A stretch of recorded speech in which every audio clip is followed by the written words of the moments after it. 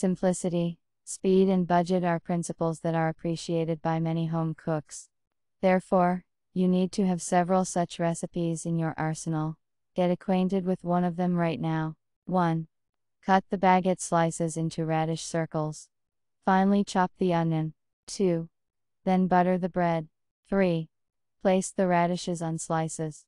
Sprinkle it with onion and salt on top. Enjoy it.